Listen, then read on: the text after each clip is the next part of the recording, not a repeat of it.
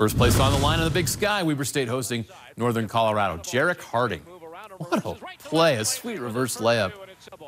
Later in the first half, Harding attacks the hoop again and scores. The Wildcats trailed by two at the half, but opened the second half with a big run. Brekkott Chapman gets it started with a three. And Cody John found his rhythm tonight. 19 points. He led the way, and Michael Kozak with some solid minutes off the bench. First place in the Big Sky now belongs to Weber State. They get a big win at home.